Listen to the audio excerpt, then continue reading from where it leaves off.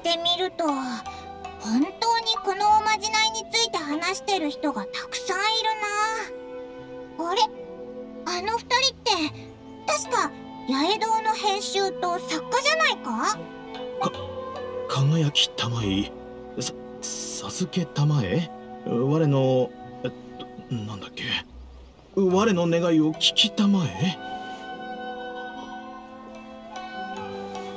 違う違う我の願いを聞きたまえじゃなくて我が願いに応えたまえだ。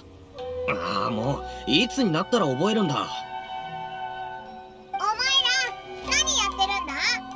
うわびっくりした。ああもうまた呪文が飛んじゃったよ。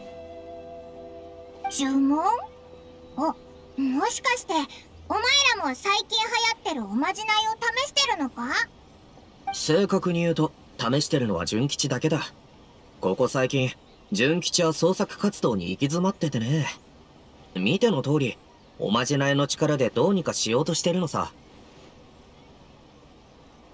もちろん僕は信じてないが純吉は昔から人の話を聞かなくてね。だから僕も仕方なく付き合ってるってわけ。しげるさん頼むからもう少し協力的になってくれ。僕にとっては一大事なんだから。綺麗になりたい人お金持ちになりたい人学業でいい成績を収めたい人このおまじないでいろんな人が自分の願いを叶えてる。この哀れな作家の僕が創作に行き詰まった状況をどうにかしようとするのも何らおかしくはないだろう。それに今回はきっとうまくいくと僕の直感がそう言ってるんだ。でもこの間も鳴神大社へおみくじを引きに行った時新たな発想がすぐにでも舞い降りてきそうだ。僕の直感がそう告げているとか同じようなこと言ってたけど。神社のご利益は現れるまでに時間がかかるんだよ。そんなこと今はどうでもいいから呪文を覚えるのを手伝ってくれ。次の新作はこのおまじないにかかってるんだ。正直今の君に必要なのは一度冷静になって自分が何を書きたいのか考え直すことだと思うよ。作家になりたての頃は今よりもずっと高い志を持っていたはずだろう。それが今やどうだ？出どころ不明の娯楽小説に書いてあったおまじないを信じるなんて。え？そのおまじないって娯楽小説に書いてあったものなのか？なあ神聖探霊筆記っていう娯楽小説に載ってたんだよ。いやこの本は自費出版されたものだいきなり現れたかと思うと今や稲妻に旋風を巻き起こしてる。同じ作家として物語自体の評価には触れないけどその中に書いてあったおまじないは本物だと誰もが言ってるんだ。純吉確かにみんなこのおまじないには効果があると言ってるが僕は他にもいろんな噂を聞いたぞ。この方法で願い事を叶えた人は言動がおかしくなるとかなんとか。そんなのきっとあまりの出来事に感極まって発狂しただけだろ。うーん。話を聞いた感じなんだか怪しいな。あ鳴神大社に行ってミコにこのことを聞いてみないか？娯楽小説や怪談話ならきっとミコの方が詳しいだろうし。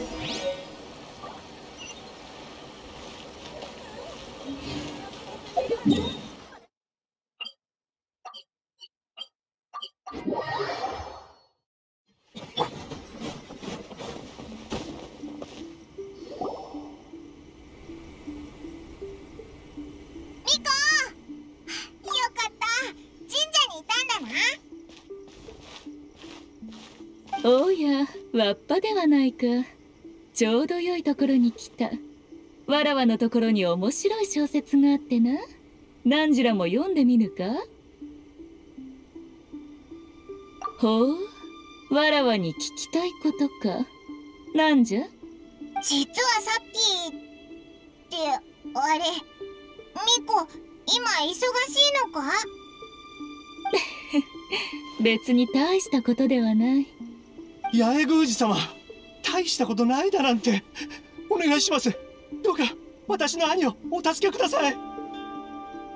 まあ本当に大したことではないのじゃが何らが気になるというのならこやつにもう一度説明させよう。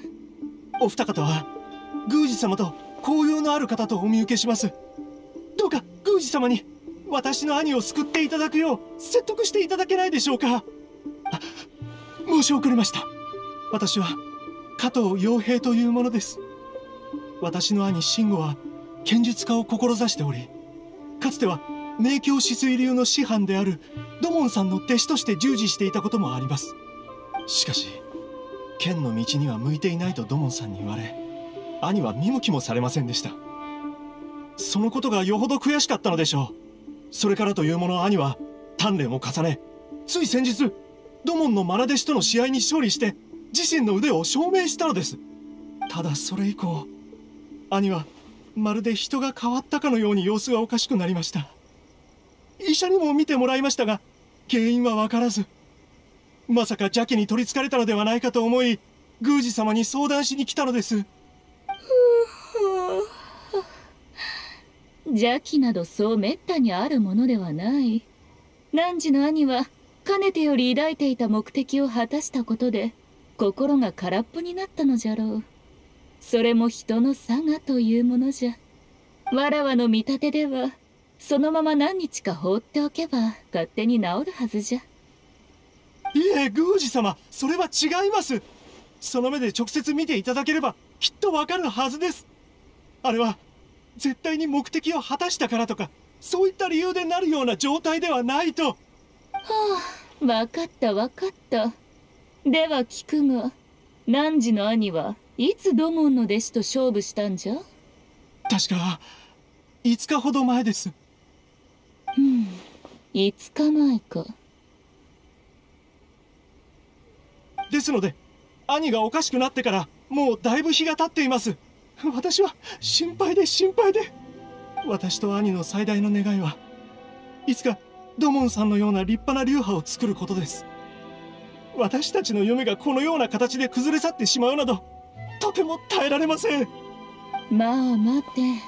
汝は兄を助けたいのか。それとも夢を叶えて流派を作りたいのか。どっちなんじゃ？そそれは同じことでは。最近何かおかしな噂を聞いたことはないか？もし心当たりがあったらわらわに話してみよう噂を？き聞いていませんそうか。それは残念じゃな。宮司様話をすり替えようとするのはおやめください。兄の命に関わることなんです。どうかお力添えを。ミコこの人声が震えてるしお兄さんの方も深刻そうだぞ。手伝ってやれよ。はあ。そうじゃな。ならばこうしようミコ手伝ってやるんだな。その加藤なんとか兵とやら実はこの二人の客人はわらわと窮地の中でな。こういったことを解決する専門家なんじゃ。邪を払うなどお手の物じゃぞ。ええー、お本当ですか？なんじゃその疑うような言い方は助けを求められたからふさわしい人物を紹介してやったというのによもや信用できぬとでも言うのか？いえ信じます。宮司様がそうおっしゃるのでしたらもちろん信じますとも。お二方とも感謝いたします。私についてきてください。おい何考えてんだよミコ。邪を払うなんてことをオイラたちにできるわけないだろ 問題はない。邪を払うなぞ。塩を一つまみしてから適当に何か唱え。それを一息に巻けばいいだけじゃ。娯楽小説でもよくあるじゃろ。大事なのは勢い。じゃと。物語の主人公がそう言えば大抵の問題は解決する。じゃがあの者のことを心配しておるのは何時らじゃろう？それをわらわに押し付けようとするのはいかがなものかなそれに汝らが鳴神大社を訪れたのはわらわに聞きたいことがあったからだったはず。多少はわらわのために誠意を見せてくれてもよいのではないか？い。やなんだか釈然としないけど。妙に説得力があるな。さあさあ早く行くんじゃ。それに心配はいらぬ。わらわもついて行ってやろう。わかった。じゃあ傭兵のお兄さんのところに行ってみよう。一体どうしたんだろうな。ミコが何を考えてるのかわからないけどなんか傭兵のことに興味なさそうだ。おまじないのことを聞くのは後にしよう。まずは人助けだ。それが終わってからまた聞いてみようぜ。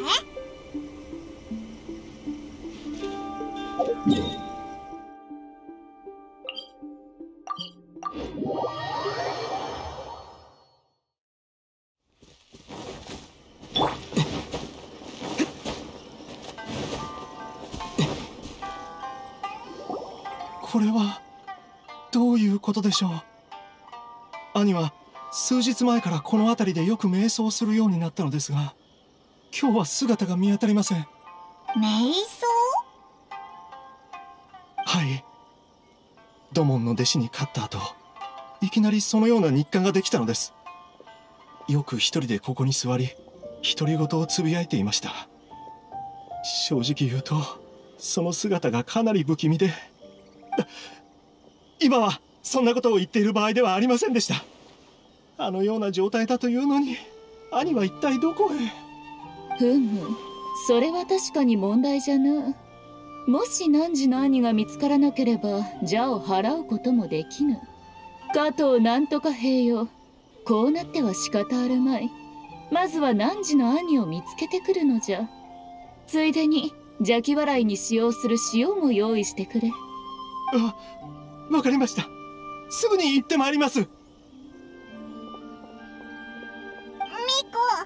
オイラたちはどうすればいいんだ？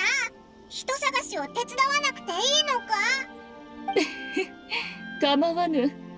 この時間を利用して共に辺りを散策してみるのも良いじゃろう。あの兄弟のことを聞いてみたら何か面白いことがわかるやもしれぬぞ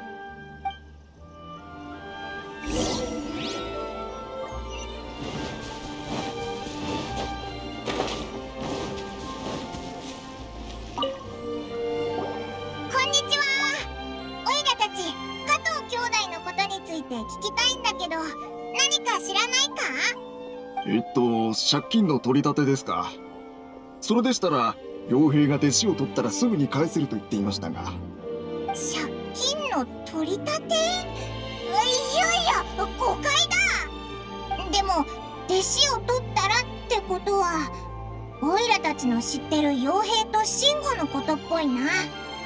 二人とも細々とした生活を送ってたみたいだな。細々？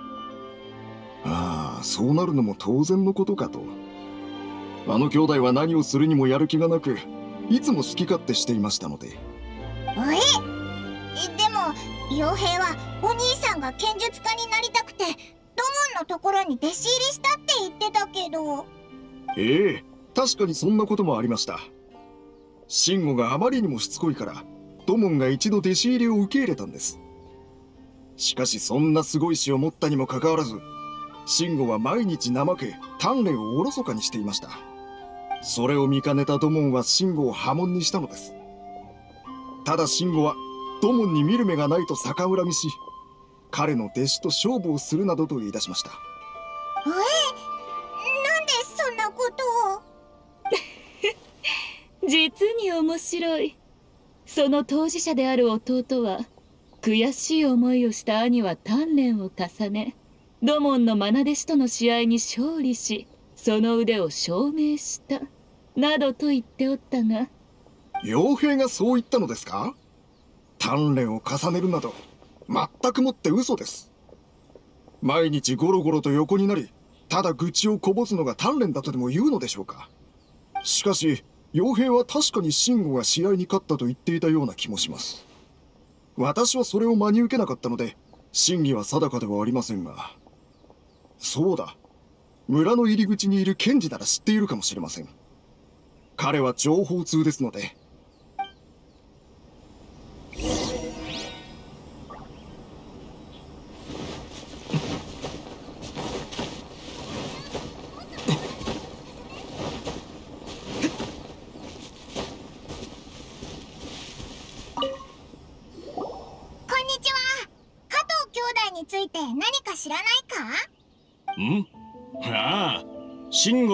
のことだなそうそう。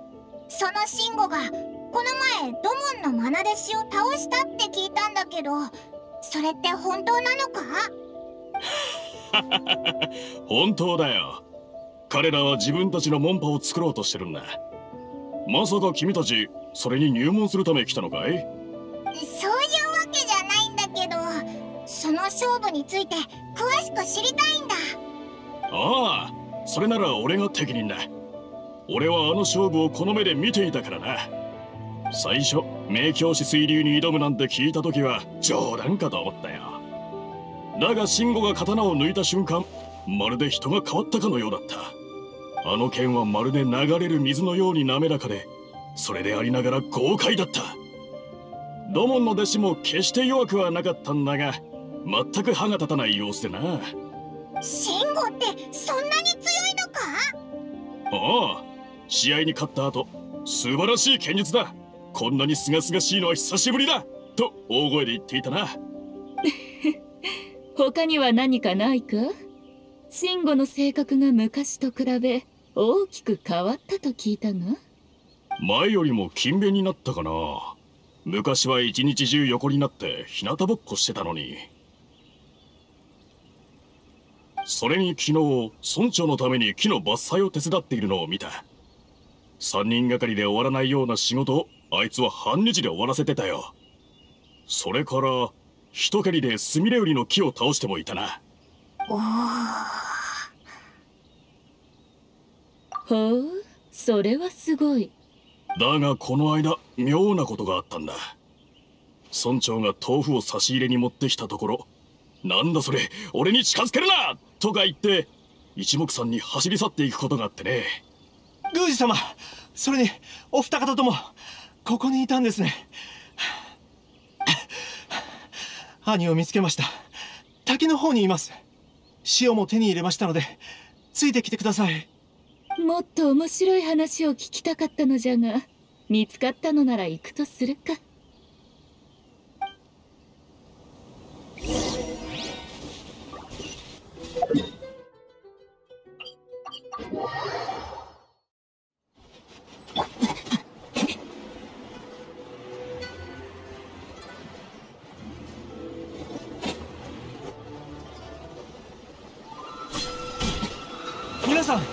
あそこを見てください。滝のところにいるのが私の兄です。あれが傭兵のお兄さんか？おお滝に打たれながら瞑想するなんてすごくワイルドだな。おなんかブツブツ言ってるぞ。寒い。もう無理だ。ダメだ。助けてくれ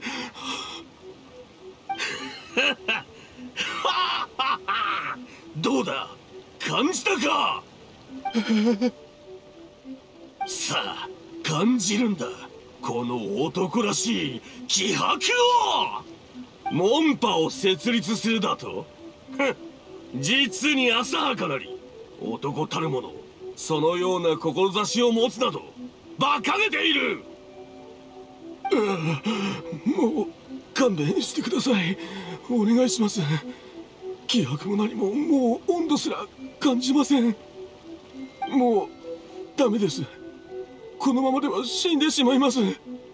傭兵助けて。助けてくれ。おい聞いたか？よくわからないけど助けを求めてるぞ。うん？何やつた立ち上がった。こっちに来たぞ助けてください。どうするんだよミコ。早く何か方法を考えてくれ。おやおやなんとも哀れじゃのう。傭兵汝の兄はもう虫の息。最後の力を振り絞って汝に助けを求めておる。どうしたものかのう。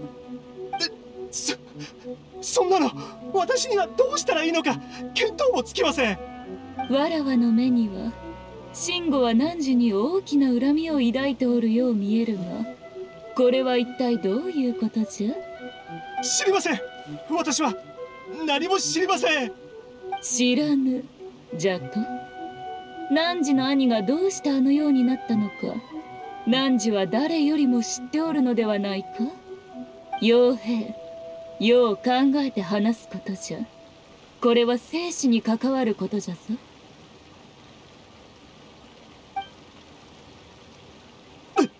そそれは。最も身近なものの様子がかようにおかしくなれば汝が真っ先に気づくはずじゃ。じゃがわらわに助けを求めに来たのはことが起きて5日も経った後これでもまだ何か隠し通せるとでも？私は。そうか。本当のことを口にしたくないのならそれでも構わぬ。じゃが慎吾が死した後は汝の番じゃぞ？たとえ地の果てまで逃げようともあやつは汝の背後につきまとうじゃろう。なぜならあれは汝らが呼び出したものなのじゃからな話します。何でも言います。私と兄はまじないで願い事をしたんです。ある願いを叶えてもらおうと。そうです。最近巷で流行っているそれです。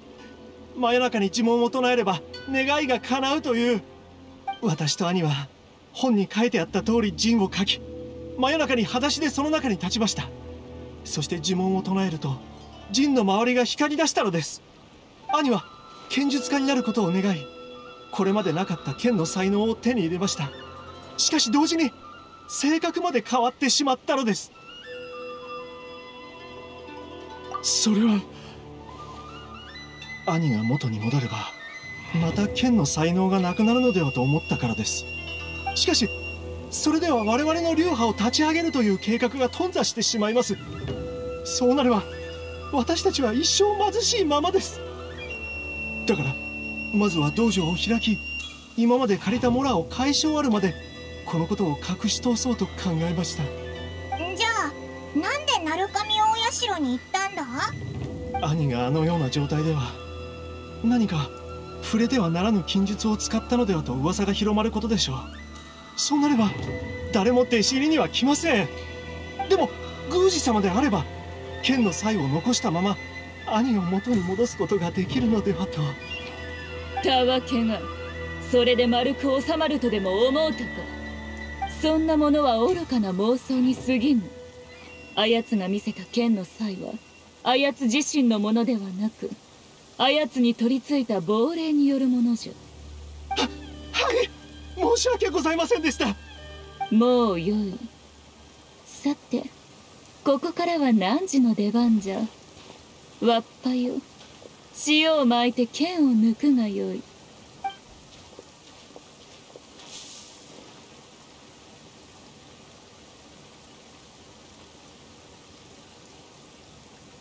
な、なんだよ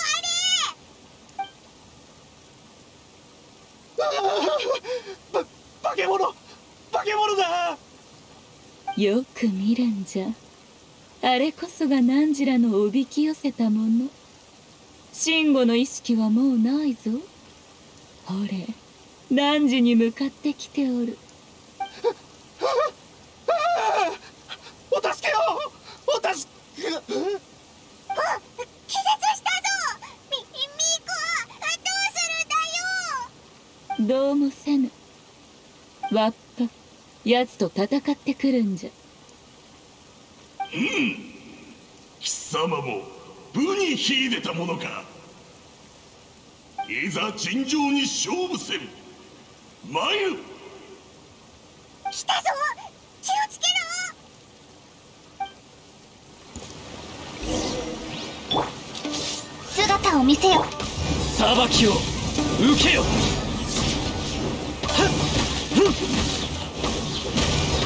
夜の幻語。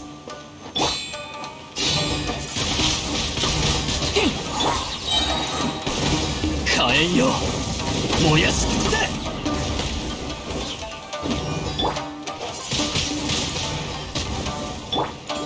断罪の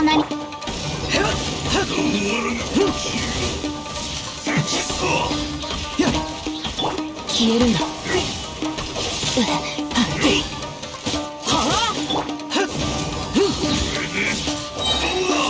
裁きを受けよ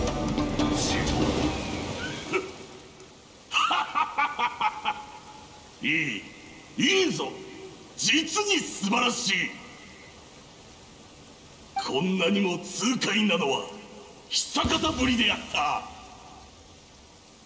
消えたなんか満足したみたいだったな。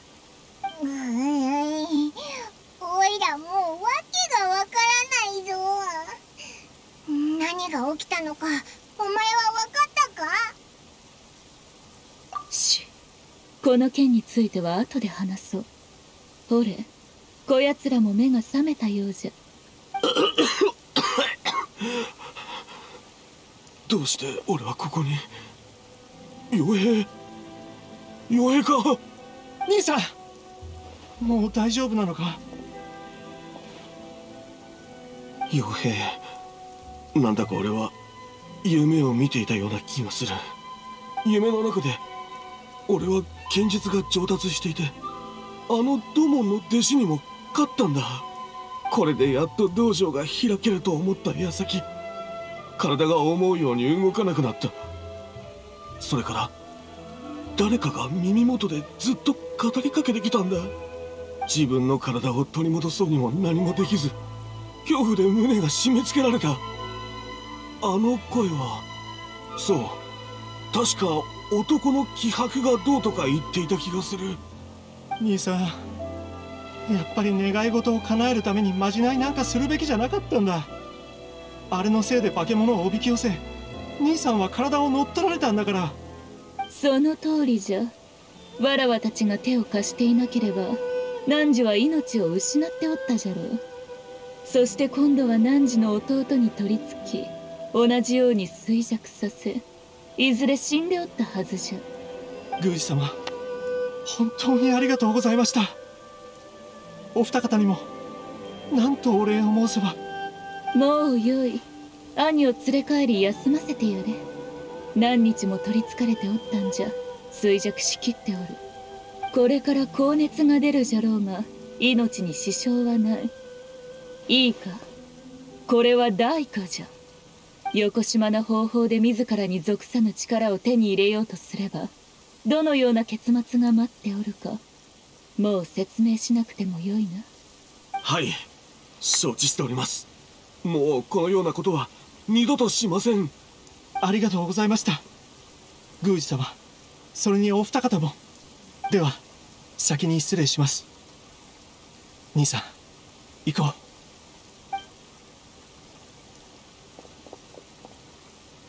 コもしオイラたちが放ってたらあの二人本当に亡くなってたんじゃないか？そんな深刻なことなのになんで助けてあげようとしなかったんだよ？もちろん命を落とすと言ったのは嘘じゃ。このくらい脅しておかねば怠け者のあやつらは改心しないじゃろ。うじゃああいつの体に取り付いてたのってこれまでの経験で何らもあれに取り付いていたのがどんな例か分かっておるじゃろ？あおいら分かったぞ。きっと鬼族の霊だ。そうじゃ。慎吾の体に取り付いてはおったが悪意はなかった。むしろ慎吾の肝を鍛えておったくらいじゃ。なんだそうだったのかでも慎吾のやつすごくビビってたよな。わらわたちが塩をまいたことで一時的に慎吾の体から奴は引き離された。そして汝と戦ったことで力尽き消えたというわけじゃ。たとえわらわたちが放っておいたとしても少しすれば慎吾の体は弱まり奴の魂を受け入れられなくなっておったじゃろう。いずれ自然と離れていたはずじゃ。ただそれじゃと慎吾と傭兵はもう少し苦しむことになっておったがの。もしかしたらその方がわらわの脅しよりも効果的だったやもしれぬ。ふう何はともあれ無事でよかったぜ。さあこれで一件落着じゃ。そろそろ行くぞ。ちょっと一件落着って本当にそう思ってるのか？そうではないのか？ふむあやつらが使ったまじないの書かれた本のことじゃな？それならわらわも知っておる。実は今日そのことについて聞きたくてお前のところに来たんだ。その本に書いてあるおまじないが今稲妻ですごく流行ってるらしいんだよ人間はわらわたちあやかしのように法力があるわけではない。まじないや怪異などに興味をそそられるのも至極当然のことじゃ。大事なところはそこじゃなくてそれに書かれたおまじないが本当に霊とか魂を呼び寄せてるってとこだ。もうたくさんの人がそのおまじないを試してる。残念じゃが人間の力には限界がある。たとえまじないを使って霊魂を呼んだとしてもそう長くは体に取り付くことはない。大事には至らぬはずじゃ。だったらその本は誰が何のために書いたんだ？これってこの先も人に害を与えるものなんじゃないのか？お前はどう思う？